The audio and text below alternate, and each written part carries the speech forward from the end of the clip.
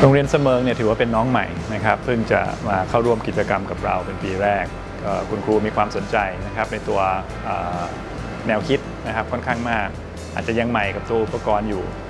แต่ก็เห็นนะครับว่าได้เอากิจกรรมหลายอย่างที่เราสอนในตัวค่าย เอาไปประยุกต์ใช้ที่โรงเรียนเองด้วย แล้วก็มีความสนใจในเรื่องของการทำโครงงานนวัตกรรม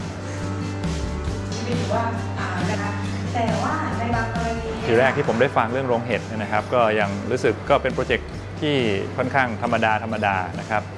อตอนที่ฟังการนำเสนอครั้งแรกเกี่ยวกับตัวต้นแบบนะครับโมเดลที่ทำมาเนี่ยก็ยังเห็นภาพไม่ค่อยชัดเท่าไหร่ แต่พอได้ไปที่โรงเรียนก็เลยได้เห็นนะครับว่าจริงๆ แล้วโรงเรียนเนี่ยเขาทำเห็ดอยู่แล้วเนาะทำมีคุณครูที่เป็นนักการเกษตรที่ค่อนข้างที่จะมีความเชี่ยวชาญสูงด้วย นะครับก็เลยเข้าใจว่าอ๋อโครงงานนี้จริง ๆ แล้วมันเอาไปเสริมสร้างกับฐานการเรียนรู้ของโรงเรียนที่มีอยู่แล้วได้เป็นอย่างดีใช่ไหมสมองกลสมองกลทดสอบเนาะเดี๋ยวไปดูแน่สองร้อยนี่จะไม่มาเลยก็มันเป็นภาพอัตโนมัติเลย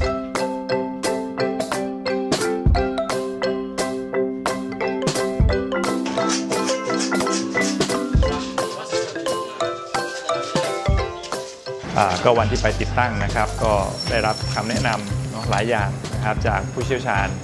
เรื่องของการเพาะเห็ดที่โรงเรียน มีการปรับสโคปของตัวโปรเจกต์นะครับให้เหมาะสมกับสภาพการทำงานจริง มีการเพิ่มตรงนั้นตัดตรงนี้นะครับให้เหมาะสมกับเวลาที่เรามีกับงบประมาณที่โรงเรียนมีด้วย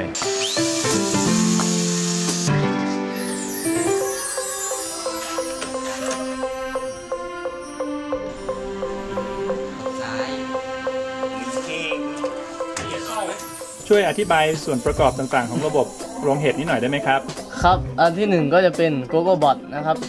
ทำงานเกี่ยวกับควบคุมโรงเรือนเห็ดนะครับ คือมันควบคุมการทำงานทั้งหมดของระบบอะเนาะครับครับอันที่สองก็จะเป็นเทนเซอร์วัดอุณหภูมิในอากาศและเทนเซอร์วัดความชื้นนะครับหมายถึงซึ่งอุณหภูมิแล้วก็ความชื้นอากาศใช่ไหมครับ ซึ่งจะมีตัวจริง ๆ อยู่ข้างในนะครับ ตัวเซ็นเซอร์อยู่ข้างในโรงเรือนครับ อันที่สามก็จะเป็นสวิตช์ปิดเปิดน้ำนะครับ ตัวปั๊มน้ำใช่ไหมครับโอเค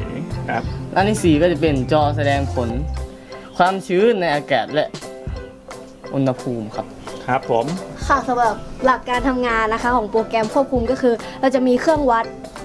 ความชื้นอยู่ในโรงเห็ดค่ะ ซึ่งถ้าความชื้นในโรงเห็ดนะคะมีต่ำกว่า 70%ค่ะ เราก็จะเปิดน้ำโดยอัตโนมัติค่ะสำหรับเครื่องนี้แล้วก็จะเปิดไปจนถึงมีค่าความชื้นถึง 75%ค่ะ แล้วก็ถ้าถึง 75 ปุ๊บ ระบบของเราก็จะปิดการทำงานค่ะ ครับแล้วเหตุผลที่เราต้องคุมคุมค่าความชื้นนะครับ ให้อยู่ที่ประมาณ 70%นะครับก็เพราะว่าทำจะทำให้เห็ดของเรานะครับจเจริญเติบโตตามปกติครับผมครับแล้วสำหรับการทำงานนะครับ ตรงหน้าจอเนี่ยนะครับก็จะระบุค่าความชื้นแล้วก็อุณหภูมินะครับสำหรับค่าความชื้นนะครับก็จะเป็น humidity ครับผม ก็ตอนนี้ก็จะตกอยู่ที่ 69%นะครับถ้าเรากดปุ่มรันครับผมมันก็จะทำงานเลยครับผมลองสาธิตให้ดูได้ไหมครับ ครับผม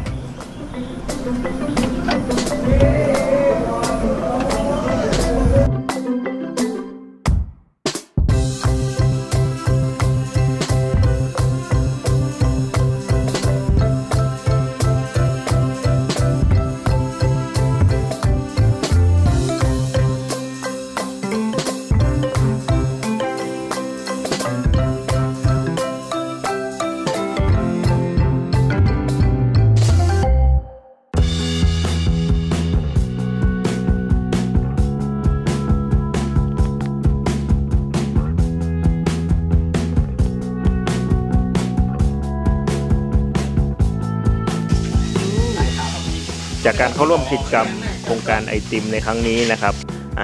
พวกเรานะครับน่าจะได้ความรู้จาก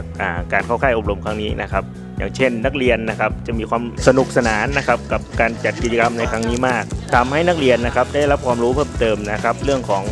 อไม่ว่าจะเป็นซอฟต์แวร์แล้วก็ฮาร์ดแวร์นะครับแล้วก็นำไปใช้กับโรงเรียนของเราเพิ่มมากขึ้นครับ